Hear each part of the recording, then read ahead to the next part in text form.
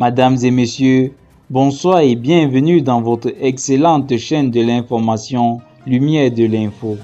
Ici, nous vous illuminerons sur les actualités africaines et même mondiales. Nous vous prions juste d'être courtois et polis. Avant de commencer, n'hésitez pas de vous abonner et d'activer la cloche de notification pour rester proactif sur les actualités et posséder le pouvoir de l'information. Merci et bon visionnage. L'armée burkinabé multiplie les opérations réussies. On peut bien voir que les autorités militaires sont déterminées à tenir leurs promesses et à vaincre le terrorisme. Elles ne sont pas arrivées au pouvoir pour rien et ne perdent pas de temps. Grâce à un changement de stratégie opérationnelle, au renseignement et un changement de partenaire clé, les résultats sont visibles aux yeux de tous. L'armée burkinabé a mené une nouvelle opération réussie de neutralisation des terroristes. Cette information a été rapportée par l'agence d'information du Burkina Faso. Dans la nuit du dimanche à lundi, l'armée burkinabé a réussi à vaincre plusieurs terroristes qui avaient attaqué les positions des volontaires de défense pour la patrie dans la localité de Boutzemba Gougo, au nord du pays. Dans la nuit du dimanche à lundi, les VDP de Kelbo, dans la région du Soum, ont vigoureusement repoussé une attaque terroriste contre l'une de ces positions, a affirmé la même source.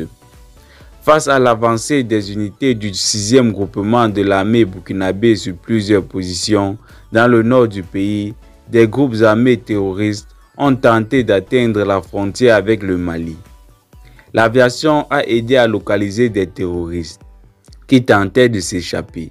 Il s'est avéré que les militants s'étaient réfugiés dans des maisons abandonnées. Plusieurs frappes précises ont permis de neutraliser les terroristes et de détruire leurs équipements. En outre, les unités au sol poursuivent leurs manœuvres.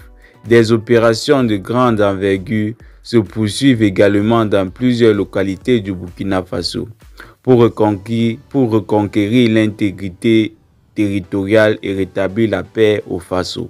Cependant, les autorités burkinabées n'ont pas perdu l'espoir de réintégrer ceux qui ont rejoint les groupes armés. Selon la même source, les autorités militaires demandent aux égarés qui ont rejoint les groupes armés terroristes et qui souhaitent sauver leur vie de déposer les armes. On peut voir que les autorités militaires sont déterminées à tenir leurs promesses et à vaincre les terroristes. Elles ne sont pas arrivées au pouvoir pour rien et ne perdent pas de temps. Grâce à un changement de stratégie opérationnelle, au renseignement et au changement de partenaires clés, les résultats sont bien et bien visibles. Merci.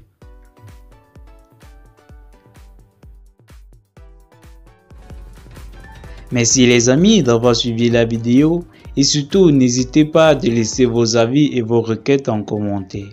On en prendra charge pour vous satisfaire dans les vidéos à venir. Merci et à très bientôt. Bye bye.